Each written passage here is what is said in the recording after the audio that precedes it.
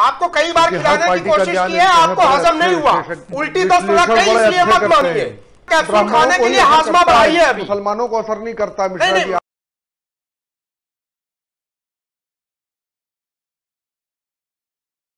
ए के मिश्रा जी भी हमारे साथ मौजूद हैं राजनीतिक विश्लेषक हैं उनसे भी हम इस पर चर्चा करेंगे लेकिन फ़िलहाल अपने दर्शकों को बताना चाहेंगे कि मैडम सबसे पहले तो मिश्रा जी को मैं धन्यवाद दूँगा कि आज सवेरे पता नहीं कल भी खाए थे आज भी ज्ञानवर्धक कैप्सूल ज़्यादा खा के आते हैं। हमको भी एक आध ज्ञानवर्धक कैप्सूल हम भी खा ले भाई। कुछ तो आपको हजम नहीं होगा सर तारिक साहब आपको कई बार खिलाने की कोशिश की है, आपको हजम नहीं हुआ। उल्टी दस लग गई इसलिए मत मांगिए आपको कई बार खिलाने की कोशिश की है, है आपको हजम नहीं हुआ। उल्टी दस लग गई इसलिए मत करते मानिए हैं।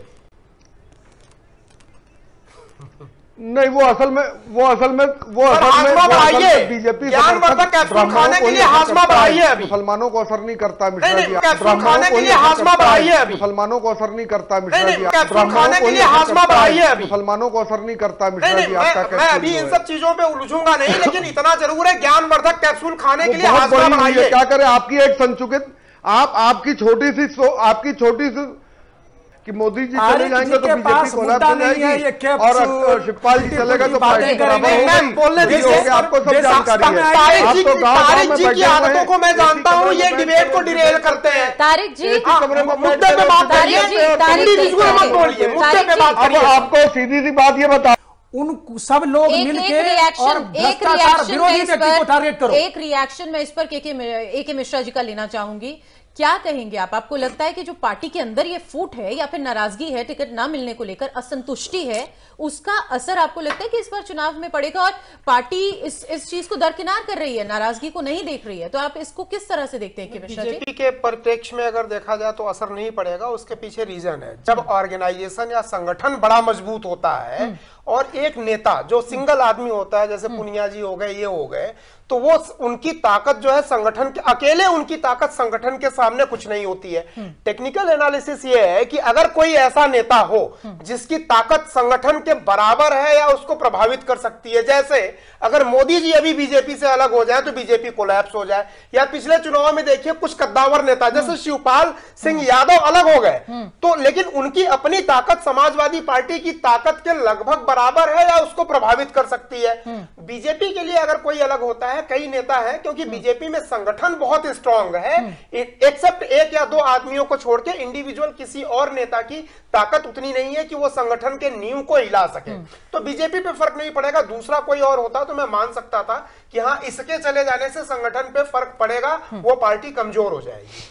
तो आपको लगता है कि फ़र्क नहीं पड़ेगा? क्योंकि संगठन बहुत ज़्यादा मज़बूत है। बीजेपी के लिए नहीं फ़र्क पड़ेगा। बीजेपी के ये लिए डैमेज अगर है भी तो ये डैमेज को बड़े आराम से मैनेज कर लेंगे। चलिए। इनके पास ऑप्शंस बहुत है।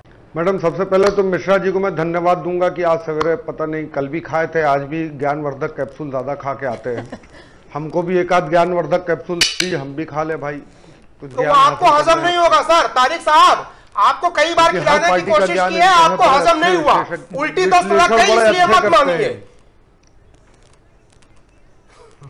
नहीं वो असल में वो असल में वो असल में बढ़ाइए। बीजेपी खाने के लिए हाजमा बढ़ाइए अभी। मुसलमानों को असर नहीं करता मिश्रा नहीं जी आपका मैं, मैं अभी इन सब चीज़ों पे उलझूँगा नहीं लेकिन इतना ज़रूर है ज्ञानवर्धक कैप्सूल खाने के लिए हाजमा बढ़ाइए क्या करें आपकी एक संचुकित आप आपकी छोटी सी आपकी छोटी सी वो वो हाजमा मेरा बढ़ा हुआ है लेकिन आपकी ज्ञानवर्धक कैप्सूल जो वो बीजेपी स्पेशल बनाती है इसलिए आपको ज़्यादा ज्ञान होता है कि मोदी जी चले जाएँगे तो बीजेपी को कोलैप्स मुद्दा हो नहीं है, जाएगी और शिवपाल जी चलेगा तो पार्टी करेंगे। हो हो आपको सब जानकारी है। आइए। तारिक जी तो की तारिक जी की हैं, आदतों को मैं जानता हूँ ये डिबेट को डिरेल करते हैं। तारिक जी एक कमरे में मुद्दे पे बात करिए। मत बोलिए मुद्दे पे बात करिए। आपको सीधी सी बात ये बता ए के मिश्रा जी इन तस्वीरों को देखकर आप क्या बोलेंगे? आपकी बात भी शायद बीच में रह गई थी जब आप बात कर रहे थे तारिक साहब से। उनके पास भी जाएँगे लेकिन फ़िलहाल अब अपनी बात पूरी कीजिए। नहीं देखिए मैं ये बोल रहा था कि जैसे बात अभी ये चल रही थी ना कि विकास के मुद्दों की बात कि विकास हमने बहुत किया है सारी पार्टियाँ बोलती है। मेरा मानना कुछ और है। मैं बोलता हूँ कि भाई विकास आपने बहुत किया है। पिछली बार समाजवादी पार्टी ने विकास किया था और काम बोलता है करके कैंपेन चलाया था। काम तो नहीं बोला लेकिन उनकी बोलती ज़रूर बंद हो गई। सेम यही चीज़ आज की डेट में जो सत्ता पक्ष है बीजेपी। ठीक है आपने विकास बहुत किया मैं मान लेता हूँ। लेकिन सवाल यह है जब आपने इतना विकास किया इतना काम किया तो जितने काम किए एक भी मुद्दे पे आप वोट नहीं मांग रहे हैं। तो ये किस तरीके का? या तो आप कितना कॉन्ट्राडिक्शन है? या तो आप खुद एक तरीके से बोल रहे हो कि भाई विकास जो हमने किया वो मुद्दे हमारे लिए इंपॉर्टेंट नहीं है। भाई, नोटबंदी इतना बढ़िया काम किया आपने, उस पर नहीं मांगा, सड़कें बनवाई, हाईवे। किसी भाषण में किसी का कोई ज़िक्र ही नहीं है कि हमें इसलिए वोट दे दो क्योंकि हम 27 kilometre per day four lane highway बना रहे हैं। हमें इसलिए दे दो वोट क्योंकि हमने जो है नोटबंदी रात को आठ बजे किया, पूरी दुनिया में ऐसा कोई नहीं कर सकता है। तो जब विकास इतनी इंपॉर्टेंट चीज़ है तो विकास पे नोट सॉरी वोट क्यों नहीं मांगा जा रहा है? वोट कैसे मांगा जा रहा है? चुनाव के पहले किसानों के खाते में सरकारी तरीके से दो हज़ार रुपए। वोट कैसे मांगा जा रहा है? हम जीतेंगे तो आपको बहत्तर हज़ार रुपए देंगे। वोट कैसे मांगा जा रहा है कि हम ये कर्जे माफ़ कर देंगे? वोट कैसे माना जा रहा है कि असली और जन्मजात पिछड़े हम हैं? वो तो फर्जी है वो तो नकली है।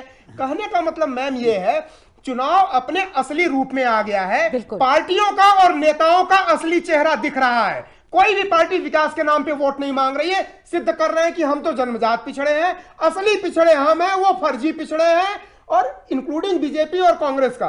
लो जी दो हज़ार रुपए पहली किस्त आ गई अब वोट दे दोगे तो चुनाव के बाद अगली किस्त हम किसानों को देंगे। तो ये चीज़ें हैं और इसको मैं समझता हूँ जनता को समझना चाहिए। ये नेताओं का जो ये छद्म आवरण है हम लोगों को जनता को एजुकेट करना चाहिए कि इनके झांसों में नहीं आना चाहिए।